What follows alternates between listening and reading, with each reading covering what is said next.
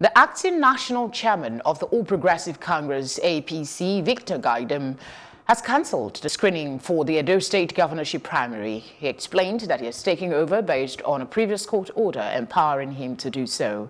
He said he has the backing of the members of the party's National Working Committee. Victor Giadom earlier on Wednesday took over as the party's acting national chairman after the APC on Tuesday elevated Abiola Ajimobi to serve as its acting national chairman.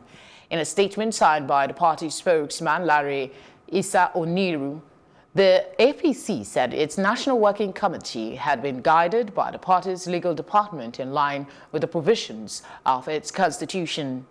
This development comes after the Court of Appeal sitting in Abuja also on Tuesday affirmed the suspension of Comrade Adams Oshiomhole as a member of the as a member and national chairman of the All Progressive Congress.